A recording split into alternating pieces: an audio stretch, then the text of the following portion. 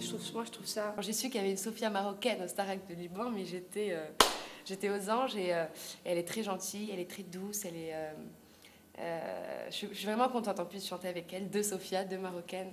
Moi, je suis, je suis aux anges.